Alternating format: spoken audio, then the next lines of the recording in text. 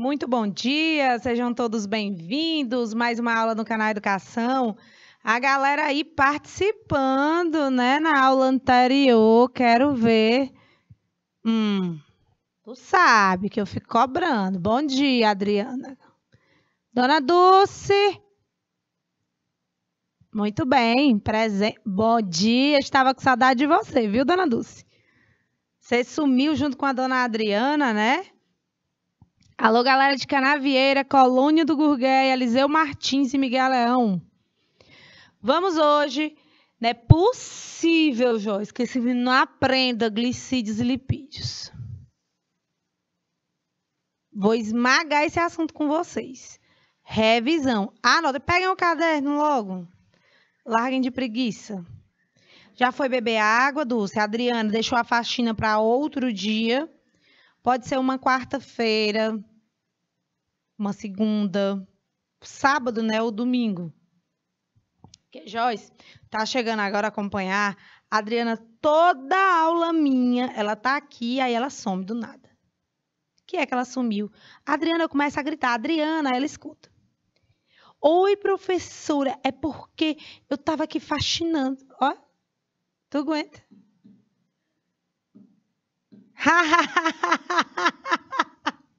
Cara limpa. Aquela Rosinha ali, ainda vai me pagar. Que ela mudou de turno, porque aí agora eu vou ter que passar as perguntas para Joyce. Viu, Joyce? o sorrisinho da Joyce aí, ó, para mim. Viu? Vai, foi, aconteceu, Adriano, porque as coisas não param. Olha só. Disacarídeos. Gente, sem mentira nenhuma.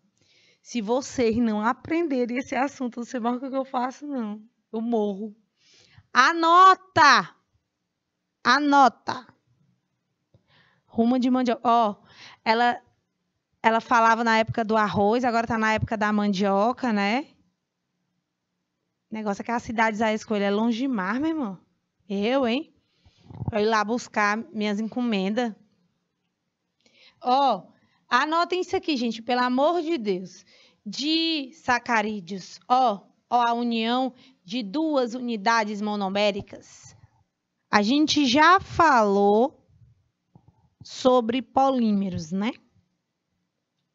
Então, veja bem aqui, se eu estou dizendo disacarídeos, são dois, duas unidades ligadas. Nós temos a maltose, que mais? Como é que ela é formada? Como é que essa maltose é formada? Por uma reação de eliminação ou condensação. É quando você elimina uma molequinha para poder fazer a ligação entre essas duas estruturas. Geralmente, para você, por exemplo, é, é, ter um outro, você está em um relacionamento e você quer outra pessoa. Então, você, teoricamente, você tem que terminar com, seu relacion... É, com a pessoa que você está se relacionando atualmente e estabelecer a ligação, a relação com o outro, né? Tecnicamente é isso. Então, você elimina um para poder se ligar ao outro. É isso que as molequinhas fazem na formação dos disacarídeos. Eu preciso eliminar. E eu elimino o quê? Importante saber. Hidroxila de uma das unidades, que é o OH, e o hidrogênio da outra unidade. Toda vez que você une OH com o H, você forma a molequinha H2O. Tá bom? A molécula de H2O. Como eles saem, fica o caminho aberto, né? Para unir-vos. E essa união é chamada de ligação glicosídica.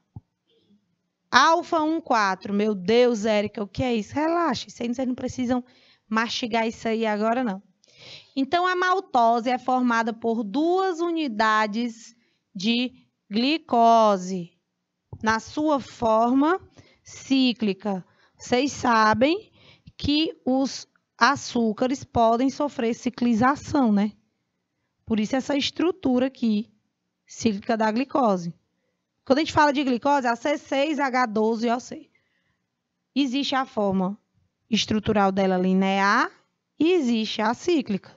Tá? Que eu estou mostrando a cíclica. Polissacarídeos. O que são polissacarídeos, pessoal? Hein, Adriana? Hein, Dulce? O que é que são polissacarídeos? Gente, polis são muitos. Muitas unidades de monossacarídeos juntos. Tá bem?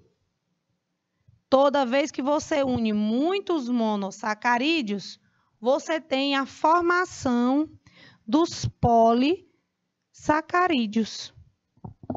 Eles podem ser desdobrados em açúcares simples. A gente fala assim, desdobra, pensa que é uma palavra errada, né?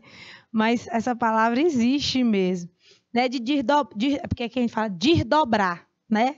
A gente não fala desdobrar gente fala desdobrar. Vou desdobrar aqui a Joyce, vou desdobrar aqui a Rachel, é, entendeu? É assim que a gente fala.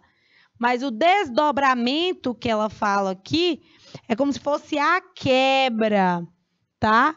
A hidrólise. Lembra que eu já expliquei para vocês. Lise não é a liseira. É, também, é que é a quebradeira. Ouviu essa, Joyce? Tô quebrado, tô liso. Meu pai dizia assim: é quebradeira infeliz, minha filha. Que é a quebradeira, é a liseira. Então, na hora que tu vê lise, é quebra. Tá quebrando. E a hidro é pela água. E por que, que a água faz essa maldade? Você não abandonou ela bem aqui, ó? Não abandonou? Lei do ex lei do ex, ela não perdoa. Você abandonou, você eliminou a água, pois se a água entrar em contato com esse casalzinho aqui de novo, né? Ou o pessoal do poliamor, que é o caso do polissacarídeo aí, a água vem, ó, acaba com a cabra. acaba com tudo, transformando esses polissacarídeos em açúcares simples. Porque glicídios, glícides, hidratos de carbono e carboidrato, todos podem ser chamados de açúcares, tá bom? É, gostou, né, Adriana? Adriana gosta. Adriana gosta. Bom, gente, e como eles são estruturas bem grandonas, né? A Dulce mangando, cabra. Mulher, eu e ninguém pode errar nessa vida. Foi quase um trava-língua, Dulce. Oxi. Eita, povo tóxico, eu, hein? Ó. Oh. Oração de São Bento aí para vocês. Ora, claro. Eita, Adriana. Os polissacarídeos, pessoal, eles, de um modo geral, eles são insolúveis em água. Érica, mas eles têm hidroxila, eu vi. E toda vez que eu olhar para um composto é, é, e ver um OH, eu vou achar que ele é solúvel em água. Olha aí. Olha aí. Rapaz, eu vou dizer que é, é aquele nome lá daquela música lá que está no sucesso no momento, só que de muro baixo, que começa com C e termina com Ré. Pois é, tá desse jeito aqui, tá de muro baixo. Errar pode, mas também vira motivo de deboche. Rapaz, isso que eu gosto da minha amiga véia quando ela participa. Ó, os polissacarídeos são insolúveis em água. E isso é muito bom para a nossa vida, tá? Porque se eles fossem insolúveis, não dava para eles participarem de estruturas celulares, porque eles iam se dissolver. Então, quando eu tenho, uh, por exemplo, nos animais que têm o esqueleto de quitina, aquelas cascudo, aquele fedorento. Os, deixa eu ver quem mais. O próprio caranguejo, né? Maravilhoso. Eita, mas é bom. Tem esqueleto de quitina, besouros, alguns besouros. A quitina ela é insolúvel e ela dá uma resistência para o animal. Né? Isso é importante, que faz parte da sua estrutura. Né? E alguns participam lá como componente estrutural na célula. E aí também vão armazenar energia. Por exemplo, amido para as plantas, glicogênio para nós. São insolúveis em água. E eles são instrumentos de armazenamento de energia. O glicogênio para nós e o amido para as plantas. Vocês lembram disso? Pois é. Então é importante também, tá? Então vamos anotem, ó, vocês anotaram isso aqui, anotaram? Anotou isso aqui ou tá só fazendo deboche da professora? Eu, hein? Porra feia, minha gente. Vocês estão tudo velho já, vocês. Terceiro ano. Anote: polissacarídeos podem ser desdobrados, podem ser quebrados em açúcares simples. São insolúveis em água. Eita, meu Deus são insolúveis em água. E vamos ver as funções. Já te disse que esse negócio de print não dá certo. Só encher a memória do teu telefone. Aí na hora que precisar apagar, tu vai lá na screenshots e pss, limpar tudo. Porque o celular não aguenta mais. Gente, eu também faço isso nas aulas. Eu estou assistindo as aulas, não vou mentir. Toda vez que eu printo, eu não copio. Não sei vocês aí focados, né? Quer dizer, a Adriana eu já vi, a bichinha apostou mesmo. Um dia, até foi uma quarta-feira, foi uma sexta, que tu postou e me marcou, não foi? Copiando os prints. Acho massa.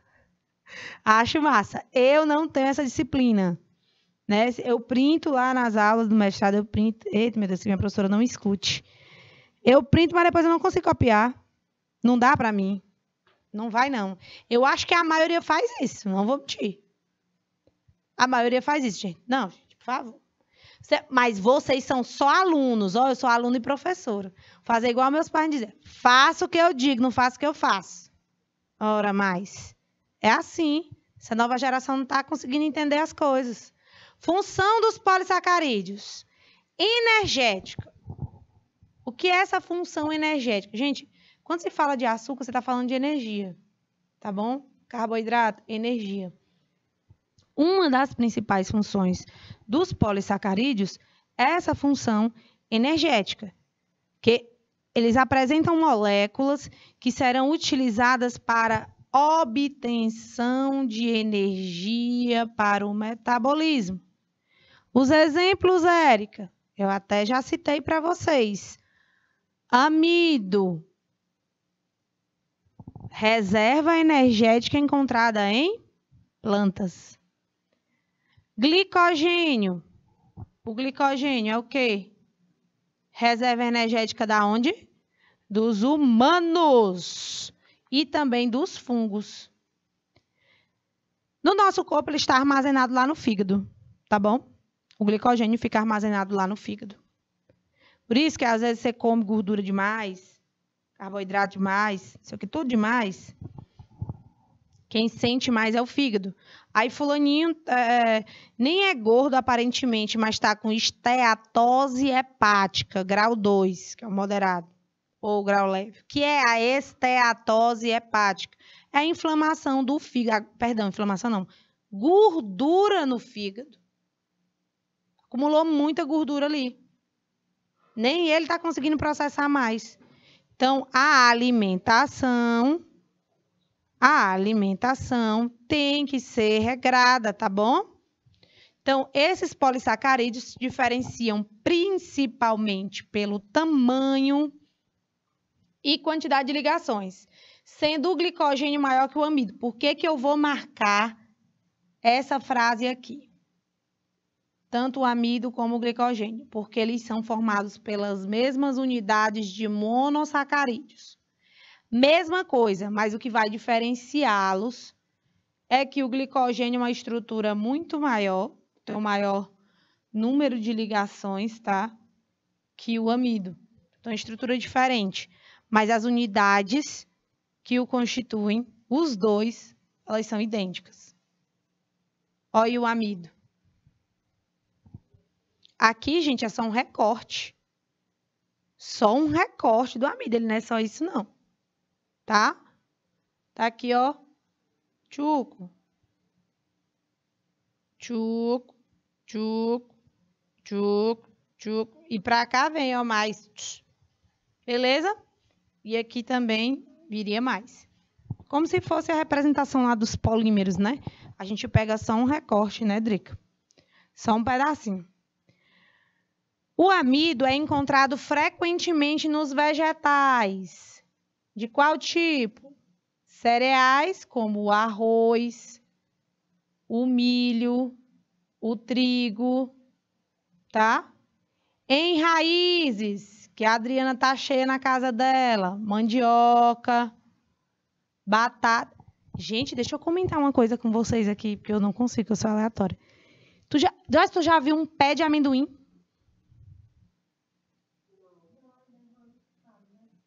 Tu, tu já viu um pé de amendoim? Gente, eu vi domingo passado. Eu nunca tinha visto um pé de amendoim, gente. O amendoim grudado lá na raiz. Eu já sabia que era no chão, mas eu não sabia como, juro. Gente, é incrível. Tu já sabia, Adriana? Camangando. Eita, mas é bom. Gente, tamanho de um dedo amendoinzão. Meu pai trouxe, disse que também nunca tinha visto. Era grandão, nunca viu. Dulce, é incrível. Quer dizer, eu achei, né? Incrível. Sim. É bom demais. E aí você bota ele no micro-ondas para torrar um minuto. Eita, mas é bom. Bota com a casca, tchuco. Aí vê lá, torradinho. Perfeito, filho. Já tinha visto, Adriana, sério mesmo. Ah, tá. Tua mãe já plantou, né? Filha, eu nunca tinha visto. Eu fiquei tão emocionada, gente. Aí falei que de raízes me lembrei. Nunca tinha visto, nunca ia saber. Véia dessa, 32 anos, nunca tinha visto. O amido como eu estou dizendo para vocês, constitui a reserva alimentar dos vegetais. Então, os vegetais, gente, eles vão acumulando amido para períodos com maior dificuldade, né? Para poder produzir o alimento. O amido é formado pela condensação de moléculas de alfa-glicose, que são liberadas quando o amido é hidrolisado. Aqui é a lei do ex. A hidrólise. Tem?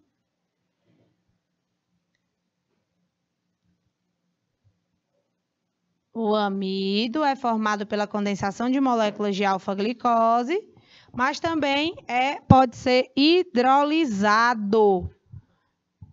Por isso, as substâncias amiláceas, que são substâncias que possuem o amido, né? Constituem um ótimo alimento. Ô, Adriana, mas é porque tua mãe planta muita coisa aí, legal. Eu também, não é que eu nasci no interior, mas convivi muito Maranhão, Piauí, mas mesmo assim eu nunca tinha visto, por Deus, nunca tinha visto o pé de amendoim, fiquei emocionada. Em contato com o iodo, o amido produz uma coloração violeta escura, razão pela qual o amido é usado como indicador do iodo. Como assim? Como assim, Érica? Olha, quando se está fazendo teste, por exemplo, eu acho que eu já comentei isso com vocês. Para ver bebidas que são batizadas, né? São bebidas falsificadas. Uísque, por exemplo, não é para ter amido, né? E quando eles se colocam, quando eles colocam, porque não é uma bebida fermentada, então não é para ter amido, não é para ter nada disso. Quando eles colocam o iodo e reconhece que o iodo realmente é, é, fica marcado, fica uma coloração violeta escura, é porque tem amido ali e a bebida é batizada, caso dos destilados, né, do uísque em específico. É utilizado pela polícia nessa investigação. Oi, quem nunca tomou ferro mingauzinho, quando, é, quando você procura uma coisa na geladeira, não tem nada. Aí você quer encher o bucho. Você vai procurar o quê, minha gente? A maisena, quando é os creme crack. Eita, o creme crackzão com café, e taca manteiga. E vai um pacote. Se você ficar sem se concentrar no que você está comendo, vai um pacote todinho. Mas é bom, né? Mas é que eu estou falando do mingau de maisena, que a gente chama maisena, mas é mingau de amido de milho. Tá?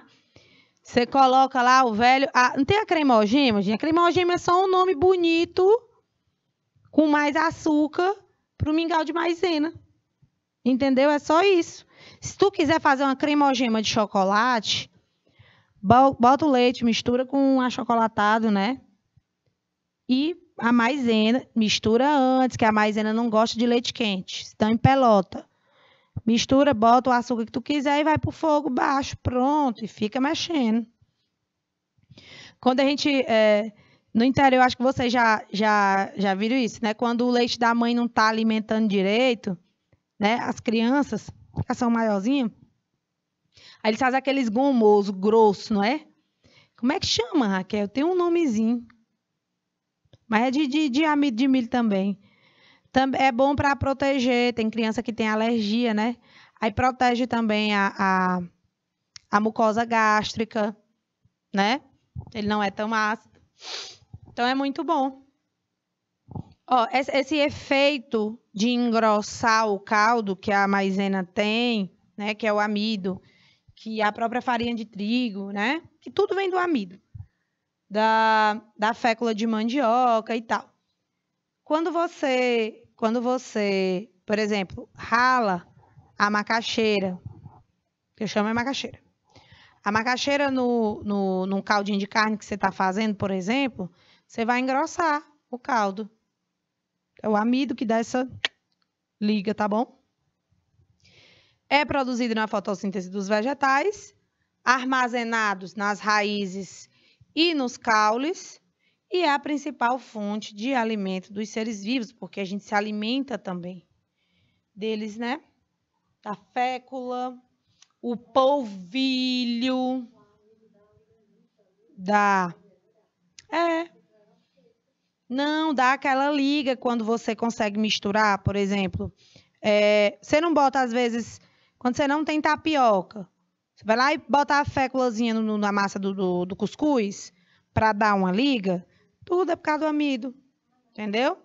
E aí ele dá aquele, aquele negócio. Vai fazer a, a ligazinha na comida. Você vai fazer um, um creme de galinha. Aí você pode botar farinha de trigo a maisena, né? Mas tem que deixar bem cozidinho, porque senão fica grosso, fica com aquele gosto de cru. Tem que fazer no fogo baixo, mexendo o tempo todo. Porque senão ele vai em pelota. Olha o glicogênio. A estrutura é muito semelhante do glicogênio para o amido.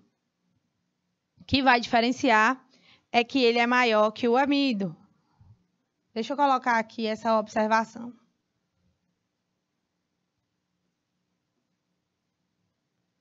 Se difere. Não, se difere fica feio. a principal diferença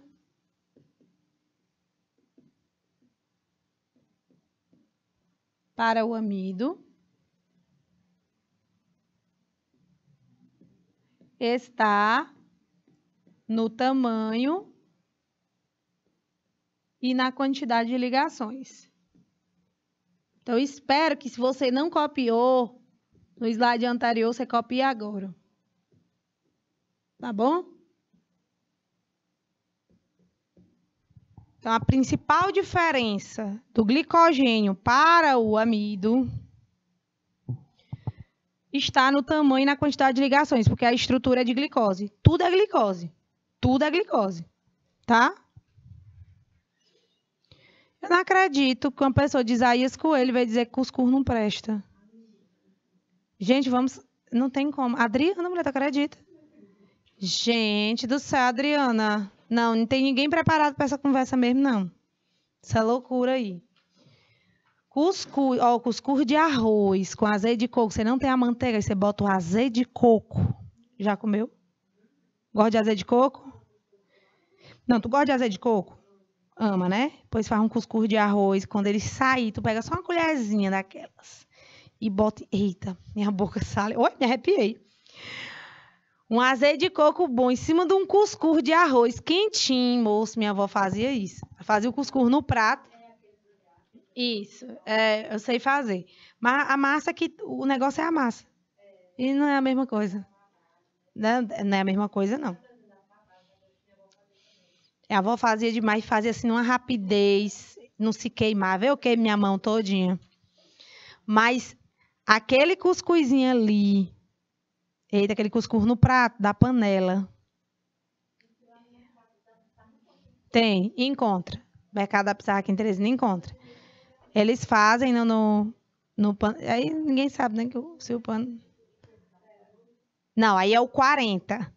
Não, ele fica nesse formato. Mas é porque a, a, a, minha avó dizia que o 40 era cuscuz de gente preguiçosa. Porque o, o 40 era só mexendo, bota o leite, mexe, mexe, pronto. Aí tá pronto, ele fica no formato, a mãe botava na latinha de manteiga. Né? Parece uma pamonha, né? Aí depois você tira e vai cortando. Mas o cuscuz no prato é a massa normal. A diferença é que você bota no prato, enrola um, um pano de prato por cima, coloca na panela com água quente e deixa lá. E esse cuscuz de arroz com azeite de coco, prove, Joyce. Você vai ver como é bom. Adriano, beiju também. Ó, beiju de farinha, eu fico louca, que eu amo.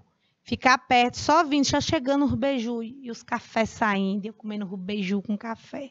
Tem pareia não, gente. Gente, não tem pareia. É, na farinhada, tem pareia não. Com coco babaçu, quando botam coco babaçu, na massa do beiju. Ai, meu Deus, é bom demais. Então, gente, voltando aqui ao glicogênio. o glicogênio formado pela condensação das moléculas de glicose.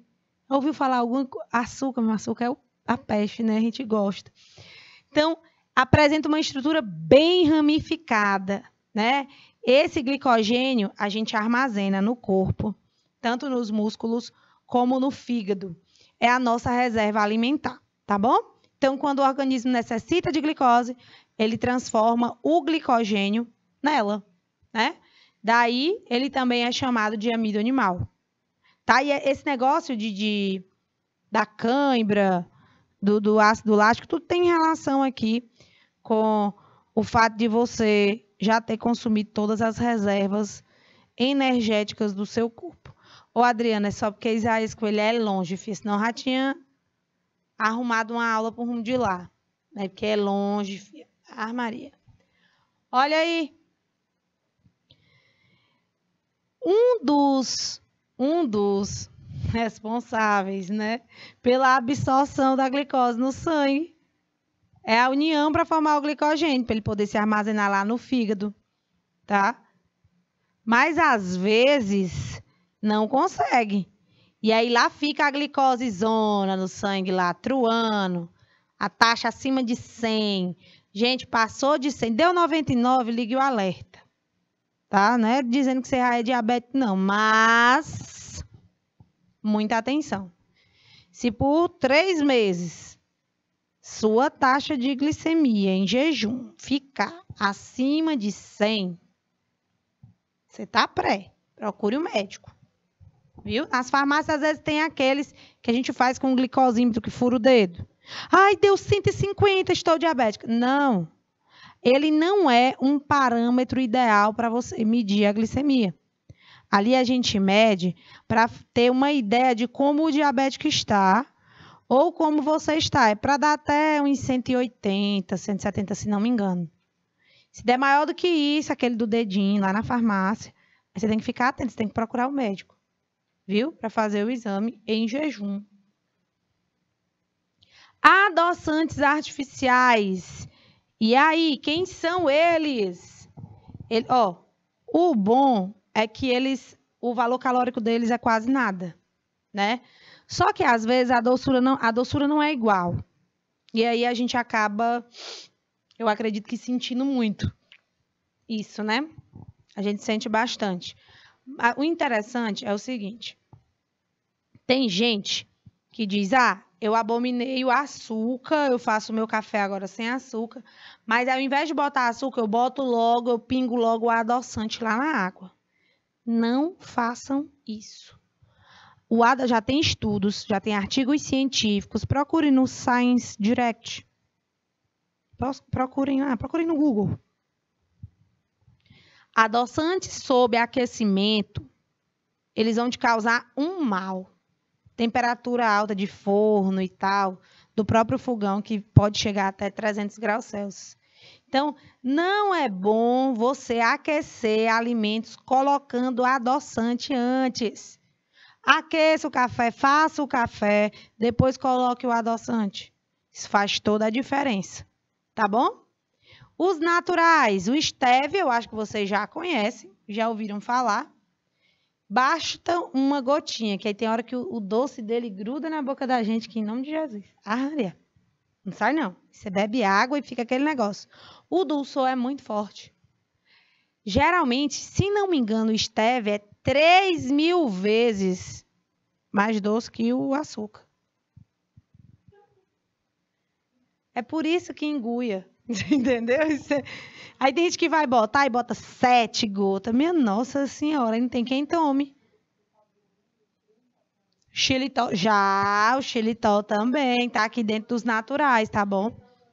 Estão usando bastante. So, é, sim, sorbitol, manitol, a própria frutose, que é das frutas, né? Por isso que às vezes o menino diz assim, José, ah, mamãe, deixa eu comer outra banana, então já comeu duas. Comer três bananas é muito açúcar. Não tem açúcar natural. Tem. Tem açúcar sim, a frutose. Tá bom?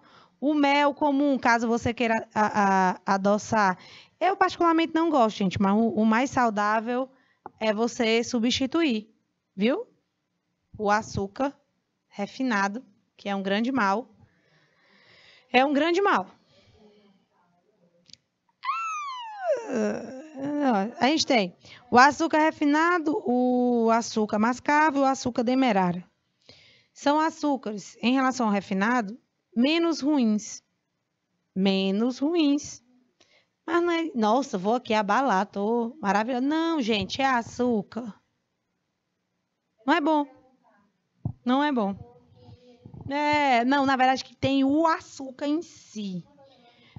É, é, não, é, é, é pior. A doença do século, além, a, as duas doenças do século, além das psicológicas, é as consequências da alimentação, em especial o excesso de açúcar. Tá bom? O mel doce, se você gosta, use ele para adoçar as, o suco, café. Eu, particularmente, não gosto. Por exemplo, eu prefiro tomar o café sem açúcar ou sem açúcar e com canela, que é muito bom, mas algumas pessoas têm taquicardia com a canela. Sim. Em, em, em, atuação com o café, com a cafeína. Então, a gente chama disso de efeitos sinergéticos. Ela sozinha não faz nada com você. Ah, vou comer aqui uma canela. Senti nada. Vou tomar aqui só um café, não senti nada. Eu vou misturar os dois. Senti todo o mal-estar, senti uma palpitação. A gente chama isso de efeitos sinergéticos. Esses efeitos não tem como a gente prever, só quando a gente realmente passa por eles. Pois é, Adriana, eu até tento, a nutricionista orientou, mas eu não consigo adoçar açúcar e café com mel. Uh, dá não, eu prefiro café sem o açúcar com a canela, que para mim dá certo. É, eu também não gostei. Suco de caju, por exemplo, gente, suco de caju você só toma se for com açúcarzão mesmo, de fazer o mal, entendeu? O açúcar de fazer o mal. Só vai assim. Diet. O que é alimento diet e o que é alimento light? Vocês sabem a diferença? A gente só diz assim, né? O é para o diabético e o outro é para quem quer emagrecer. Meu pai diz desse jeito. Um é porque é aquele, minha filha, que é o diabético, que ele não pode comer açúcar.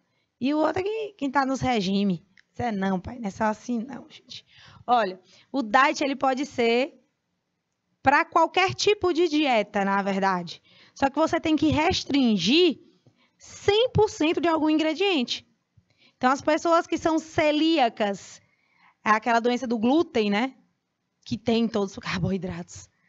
O glúten, né? E aí, quando a pessoa é celíaca, tem que ter zero glúten.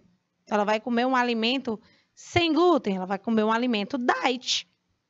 É um, um alimento preparado específico para alguém, onde foi retirado algum ingrediente. Podemos dizer que a cerveja sem álcool é um alimento diet. né? Foi retirado o álcool e as bebidas, de um modo geral, por exemplo, a cerveja, ela é um, uma bebida calórica. E se é bebida calórica, é considerado dentro da indústria uma indústria de alimentos. Tanto a, a cerveja como o refrigerante também. Bastante calórico, né? Aí tem gente que diz assim: ah, não vou tomar. É doce. É, fia. O, o pior que é o alimento, porque é calórico. Da, toda, toda bebida que é calórica, ela é considerada um alimento. O que é bebida calórica? Ela vai te fornecer energia. Ninguém sabe para quê. Nesse caso aí, né? Fiquem atentos, por favor.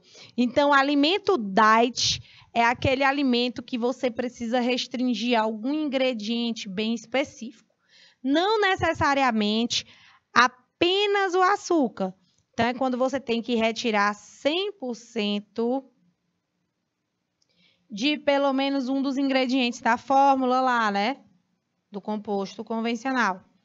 Então, quando eu vejo a Coca-Cola zero, ela não tem açúcar, mas ela tem aspartame ou fenilalanina, ela é zero açúcar, mas ela tem adoçante artificial. Tá bom? É isso. Então, alimento diet, ele é pode ser o sem açúcar, o sem gordura, o sem carboidrato, o sem sódio, sem glúten. Basta você tirar 100% de um dos ingredientes. Beleza? Entenderam, né? Vamos pro próximo. Quem é o light? Aí o light, ó, a gente só fala do light em relação à, à gordura, né? Ah, creme de leite light. Gente, às vezes, oh meu Deus, às vezes é só isso, ó. 25% de redução da gordura. Que creme de leite já está dizendo, filho, é só gordura, mas é bom. No estrogonofe, né? No creme de galinha. Você vai fazer aquele molho, molho branco. Gente, eu acho que eu tô com fome. É, tá assim, né, Joyce? tá? Se será se eu todos com fome. Então, os alimentos light são aqueles que têm redução de 25%. O diet é aquele que tira mesmo, tira tudo. É o ingrediente, eu tirei totalmente aquele ingrediente. Então, é diet. Agora, se eu só diminuísse. Pronto, deixa eu responder bem que a Jasmine Guimarães, ela está fazendo a seguinte pergunta. A, a verdade, ela está afirmando. Professora, mas a Coca-Cola Zero parece que tem mais açúcar que a normal. Porque era justamente isso que a gente estava falando agora há pouco. Adoçantes, naturais ou artificiais, eles têm um poder de dulçor, que é o sabor doce, né? O dulçor, bem maior que o açúcar comum. Que o açúcar refinado que a gente utiliza, né? Para adoçar o suco, as coisas em casa. Então, como ele tem um dulçor maior, e para tentar é, solucionar o paladar de quem vai tomar Coca-Cola Zero, por exemplo, tem que adicionar bastante. Por isso fica muito doce. Às vezes doce que é a ripuna mesmo. Mas é por conta do adoçante. Se você botar uma gotinha de adoçante na ponta da sua língua, meu filho, do jeito que adoça amarga. Ô negócio estranho. Mas eles são muito bons para substituir o açúcar, gente. Os naturais, né? Adoçante natural. Então, quando eu reduzo 25%, eu tenho um alimento light. Essa redução pode ser de açúcar, gordura, colesterol, sódio, seja lá o que for. Tá bom? Então, continuando. Continuando. Eita, aí. Continuando. O paracetamol. Paracetamol. Olha, falar em paracetamol. Gente, olha, eu conheço pessoas que tomam paracetamol para dor de cabeça. Pelo amor de Deus, não façam isso não. Gente, ninguém toma essa medicação sem necessidade. Tá com dor de cabeça? É as de pirona da vida. Ah, mas eu vou comprar a Dorflex. É de pirona. Alisador de é de pirona. Tudo é de pirona. Se não tiver alergia, né? Tomar de pirona. Paracetamol, ele sobrecarrega o fígado de um jeito, Adriana, tu não tem noção. Aí a pessoa tá com dor de cabeça, dorzinha de cabeça que toma um paracetamol de 750 miligramas. Loucura. Faça isso não, viu? Ou não faça isso não. É um crime com você mesmo. Tu tem alergia ao dipirona, né, Dulce? Aí, pra ti, a situação é um pouco mais complicada. Já, Adriana, você que não tem alergia, não tome paracetamol para dor de cabeça. É uma medicação que você toma quando você está com dengue, quando o médico passa lá, ó, paciente com dengue, né, né, que não pode tomar aspirina, por exemplo. Aí você vai tomar o paracetamol. Mas jamais faça isso para dores diárias. Isso não, é muito forte. O fígado fica sobrecarregado, tem quem aguente. Anti-inflamatórios de um modo geral. Fulano deu uma tossida. Ai, vai tomar unimesulida. Assim que o povo anda doido se automedicando, né? Não, gente, anti-inflamatório principalmente. Deu uma dor no dedo. Ah, vou ali tomar um meloxicam. Faça isso não. Faça não que transplante de fígado é difícil, viu? E, e mata ligeiro. Olha outra função. Já falei da função energética, vou falar da função estrutural. Função estrutural. O que, que ela apresenta? Apresentam moléculas que têm resistência e formam estruturas físicas. São exemplos de polissacarídeos estruturais. Quem?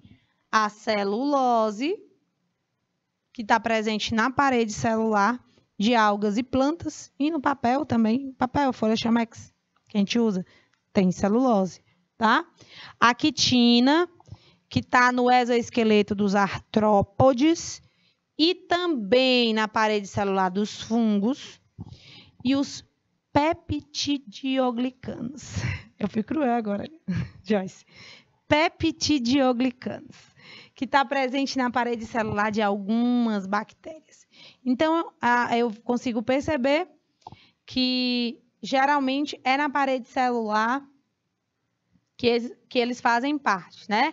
Mas aí, é, de maneira eu acredito que de exceção a gente tem no exoesqueleto, que é o esqueleto de fora, né, dos artrópodes, a quitina, tá?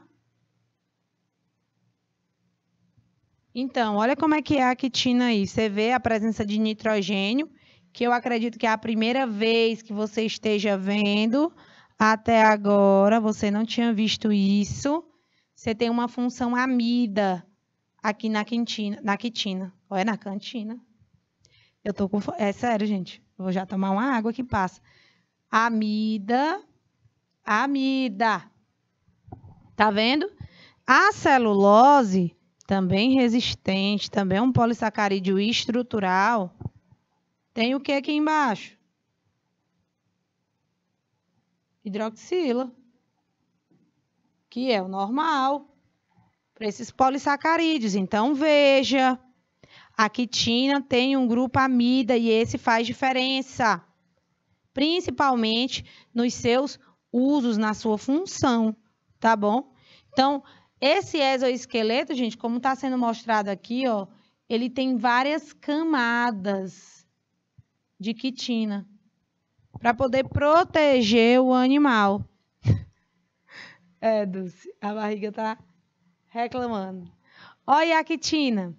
Quitinas são macromoléculas formadas pela união de moléculas de ácido fosfórico, para quem não lembra, é um ácido inorgânico. Te usa também para na fabricação de refrigerantes. é o cérebro entrando em alerta, é verdade. Pentoses também reage com esse ácido fosfórico. E as bases nitrogenadas cíclicas.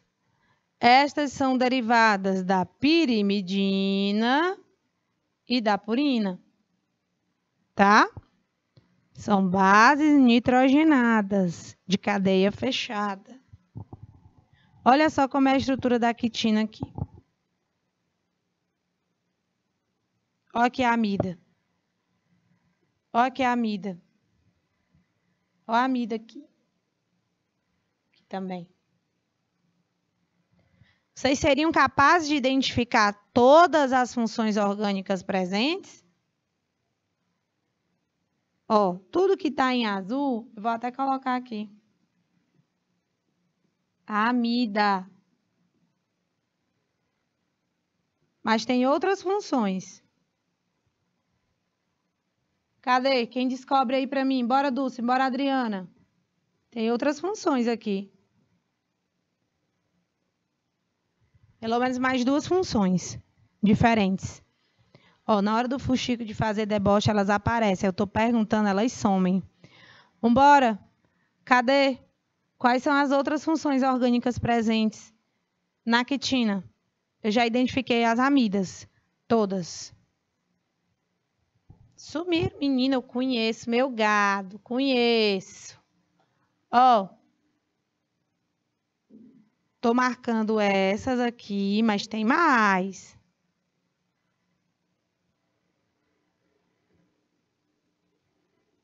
Hidroxila ligada a carbono saturado, hidroxila ligada a carbono saturado.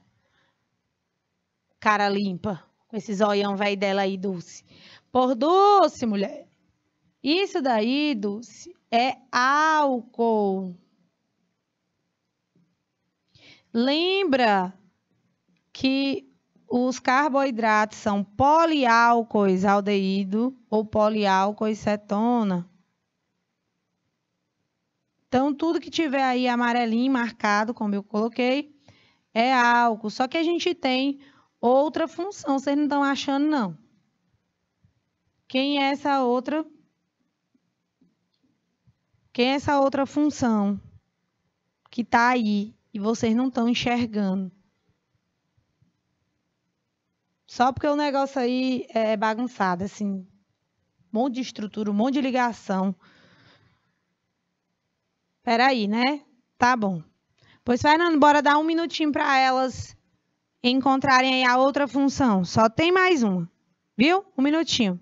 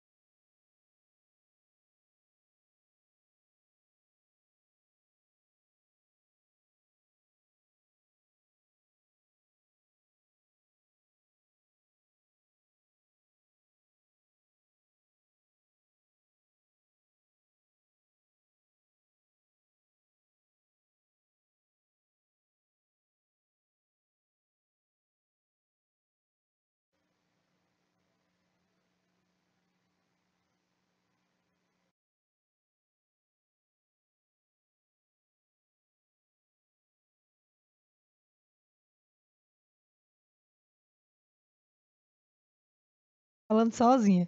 Olha, tinha desligado o microfone. Oxigênio entre carbonos. O CH3 é o metil, tá, Dulce? Olha o oxigênio entre carbonos. Oxigênio entre carbonos. Oxigênio entre carbonos. Oxigênio. Pronto, gente. Isso aqui é outra função. O oxigênio entre carbonos, como heteroátomo, como é o nome dessa função?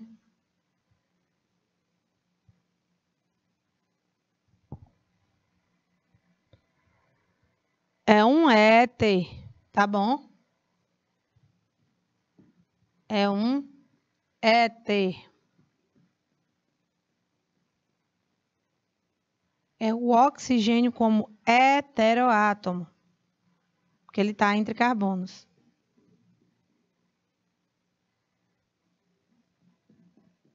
Então, esses verdinhos, viu? São éteres. Beleza, gente? para frente. E a celulose? Bom, a celulose também é um polissacarídeo, ou seja, uma macromolécula, e ela está em praticamente todos os vegetais.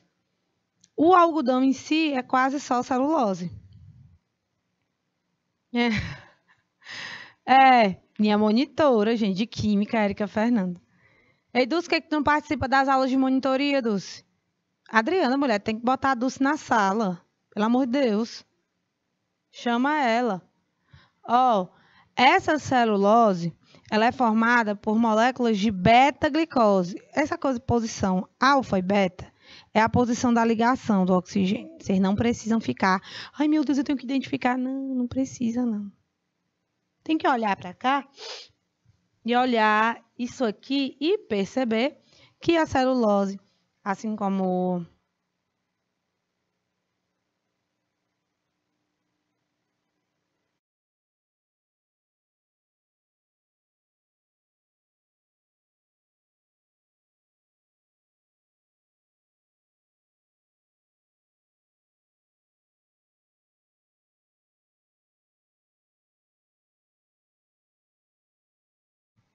Então, dando continuidade aqui, a celulose, né, é de glicose, unidade de glicose. Celulose, glicogênio, amido, maltose. Um monte de gente é feito só por unidade de glicose, que vai diferenciar tamanho e o jeito que eles estão ligados, né? Mas a quitina que é diferente, né? Vocês viram que a quitina é base nitrogenada com ácido fosfórico, enfim. Pentoses, o babado é mais embaixo. Viu? Então, função genética. Que função genética é essa que esses polissacarídeos fazem? Bom, eles são componentes essenciais. Oh, meu Deus, eu quero o marca-texto. São componentes essenciais dos ácidos nucleicos.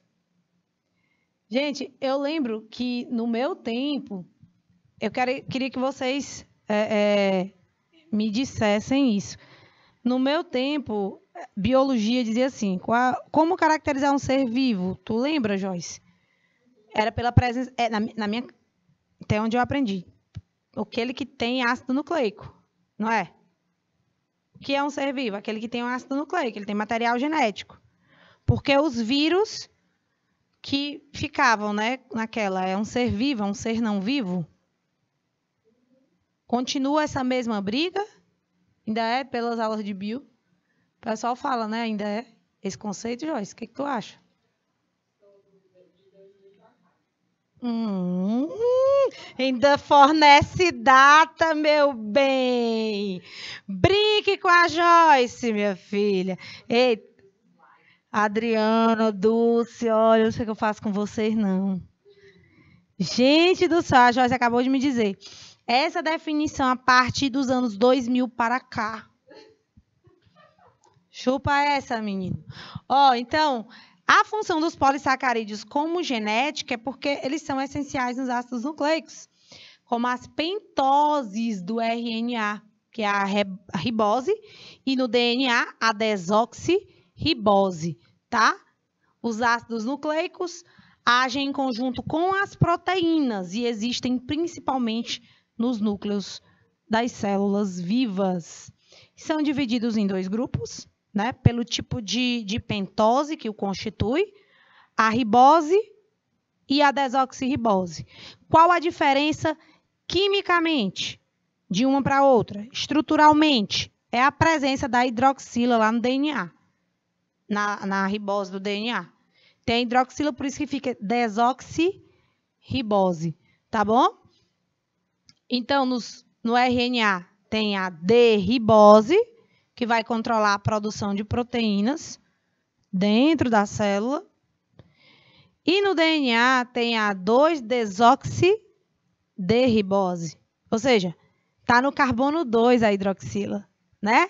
E ela contém toda a informação genética dos seres vivos. E a massa molar é gigantesca.